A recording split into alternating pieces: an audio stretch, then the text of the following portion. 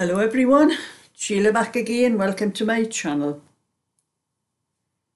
I have had a, excuse the word, a hell of a day today. I finished the the blue baby blanket I was doing. I'm calling that one um, Garter Ridge Ribbed. Garter Ridge rib blanket because it has like little ridges across the, the rib part of it. And I wanted to get it parcelled up and sent off to the United States with all the other things I had for Dagry because some of them I've had, that makes three baby blankets um, I'm sending to um, and I've had them quite a while. But I'll show you a little video of the um, the finished blanket. I did a little video to show what it looked like when it was finished. So I'll stop the video and start it again.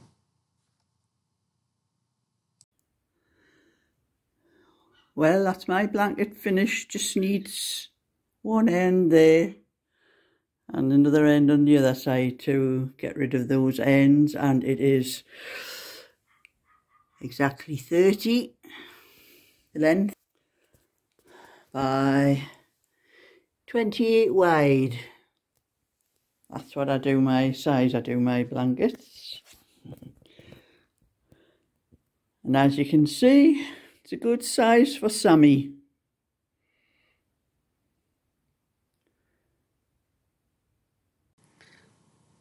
So you can see what the finished thing looks like now and I'm back on my my normal things. I'm busy knitting Derek's cardigan at the um the moment. I'm back on my no, normal routine, what I was doing before. I'll be starting from tomorrow morning doing my crochet things because I have one or two crochet bags and things to do in the morning and my orders like this I'm doing for Derek in the afternoon and my own of a night time. But I'm going to tell you a little bit about my day. It started after I had finished the um the blanket. I finished the blanket this morning and I thought I wanted to get it parcelled up and sent off today so I got to about quarter to two and I thought I've got plenty of time to get over the post office and before the last pickup was quarter past four so there was plenty of time. And you know the parcel with there was three baby blankets, there was four cardigans and a little hat thing in and it was quite a large parcel and I didn't have a single bag or anything. My you know the plastic carrier bags it wasn't big enough my bag I do for shopping wasn't big enough. I ended up with this. This is my bag where I keep all my odd bits of wool and that in. And there was just enough room. It was stretched out like that. I could get it in the bag because I needed something to carry it in because I was going to walk over to the post office with it. And I weighed it and it was just under two kilo so I know the weight was correct for what they call it, what's called a small parcel. The weight was within, the, it had to be under two kilo. And I measured the size and everything, the size was what it should be for, otherwise it has to go to a main post office where my post office is just a small one, use um, like a food store as well as the um, post office. So anyway, I measured it all and it seemed to be all in within the size to me. So I walked it over. It wasn't that, you know, heavy. I just kept changing hands when I was walking over. I was having a bit trouble with my knee and my hip where I was walking over because I do get a little bit problem now and again with them. But I got over to the post office and put the um, parcel on the scale and he said, oh, you can't bring that here. Too big. I says, well, it's within the size. I've measured it. It says um, to go across the top and down, it has to be no more than 90 centimetres, and it was 89 centimetres, so I knew it was within the size.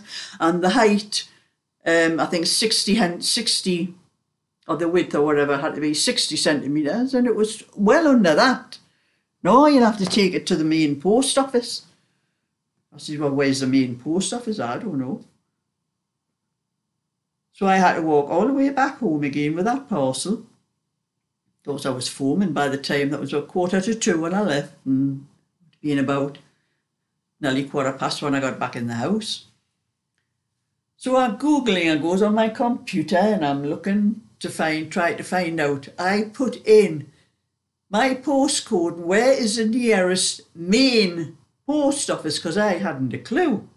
I knew there was plenty small ones around, but I didn't know where the main one was, because I know there used to be one in North Shields, um, in a certain place round beside where I used to live when I lived in North Shields, actually, but that one shut down a long time ago, and I didn't know where it was anymore.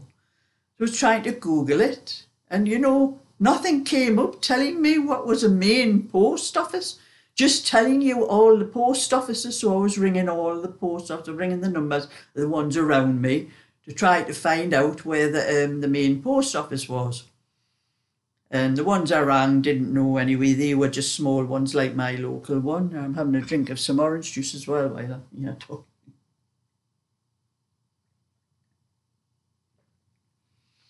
So I was on for ages with that, and then I I think the last one um, I rang was it's called um, in the North Shields Town Centre, Niles Street. It's called. And I rang there and she said, "Oh yes, we are the main post office."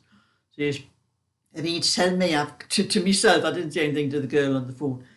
You mean to tell me I've got to drive all the way down into North Shields? I've never been in, into town, North Shields Town Centre for years. I've got to go all the way down there and I know it would be a busy time because a lot of factories are coming out at this time, coming out, and I know the traffic would be busy at this time on a Friday. Because this was after three o'clock by this time, after I'd been doing all this Googling and everything. It was about quarter past three. So although I'm going to have to go down, I'm not going to wait till Saturday because I know it will be busy on Friday, but it would be even more busy on Saturday morning. And the post offices are only open till um, about 12 on a Saturday morning. So so I got my car, drove down, the traffic was horrendous. And I'm like I say, I have not been in North Shields Town Centre for years. I very rarely go. I don't need anything in the town centre. I go like in the places um, on the outskirts, you know, the supermarket places and um, the shopping centres and all that around there. So I drove down the normal route. You couldn't go down this road. You couldn't go down that road. Now they were blocked off, and a lot of them were one way. And oh my God, how am I going to get out of the post office? I have to find somewhere to park first, and there is a, um, a car park in uh, North Shields, one of those where you go round and round and round and round in it. And when I used to go there, I always used to be like up the top because um, you parked up the top and you just came down the ramp and it led down to the um, the main shops where Wilko used to be, but Wilko's not there anymore. So anyway, now, oh God, I wonder how much it's going to cost me to park because it costs you to park in the car park. And anyway, I, I managed to find my way around there. I had to go a different route to what I normally do, trying to find a way because there were roadworks all over the place. They're doing a lot of alterations in North Shields because everything was different to the last time I was there. So I managed to find my way around and I'm driving up and could only see um, the shutters on one side of the car park were pulled forward where you go through to get your ticket. The other side was open. I thought, oh, well, there must be another way of paying. You mustn't get the ticket there. So I drove in and I'm driving my usual round and round up the top and I couldn't see a machine anywhere. I said, well, where's the machine for? Put the money in to get the ticket and that. And, uh, and then I come to where a machine used to be and it says, parking is free today. Oh, thank goodness for that.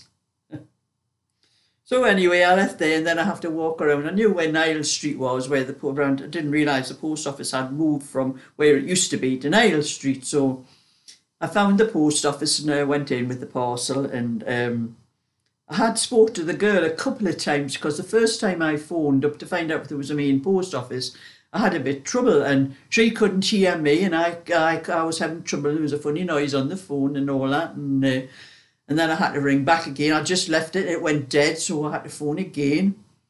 And I was talking to the same girl and that. And she was the same girl at the counter when I went up to. And uh, I went up with the parcel. She says, are you the lady that phoned? She says, about a parcel for the United States. I says, yes, that's me. Oh, you found your way. I says, Yes, I found my way here with a bit of difficulty, but I did find my way. She took the parcel, she measured it and everything. She says, Why wouldn't your postmaster take it? Yes, he said it was too big. I'd have to go to a main post office. She says, It's within the the limits of a small parcel. He should have taken it. Which who's your post? Who's your postman? I told her where it was. I says, uh, the post office, wherever it was. Oh, I don't know, getting into trouble or what, but um, she says, I says, you mean to tell me he's trailed me all the way down here when I didn't have to? And she says, oh, well, she's it's nice to see a new customer now and again. But if I ever had to go to a, um, a main post office again, I know where it is now. but she says she measured the whole thing and everything, and she says it's within the limit. It's under the two kilo. It's within the, the measurements, everything. She measured it. She says, I don't know why you wouldn't take it.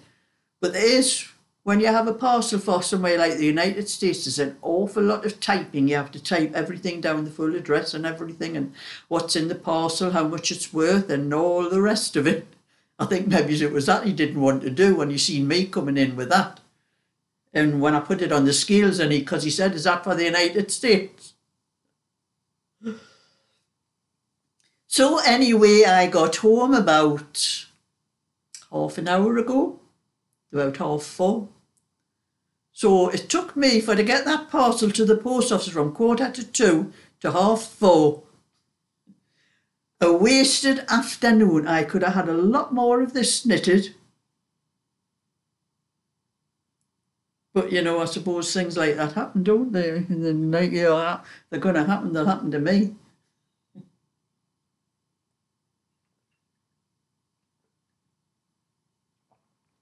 Traffic was terrible coming home again because like where I live, there's a lot of factories and that, and they all finish early on a Friday. And I come to the there's a big roundabout. It's called Billy Mill. This roundabout.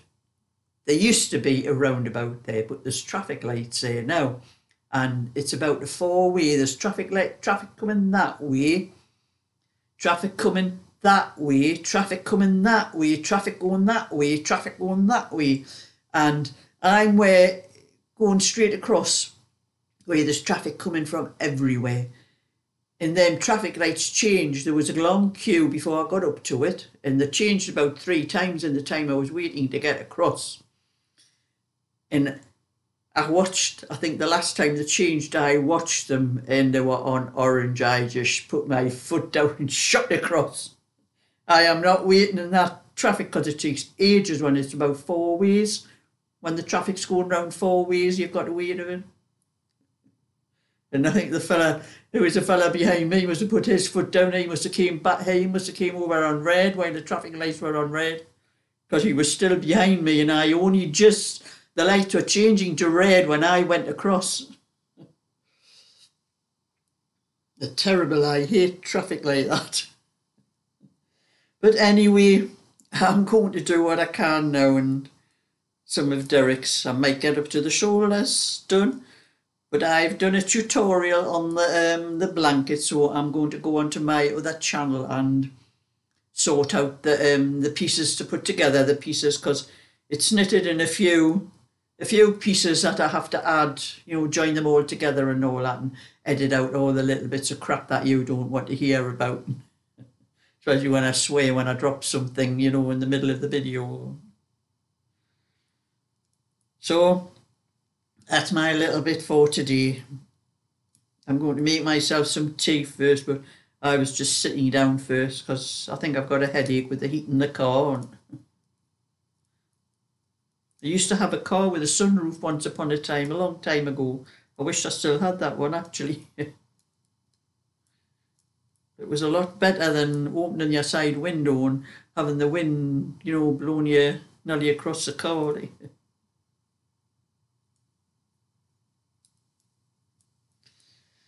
So, thumbs up and subscribe, and I'll catch you all another time. And that's the end of that rant. Bye for now.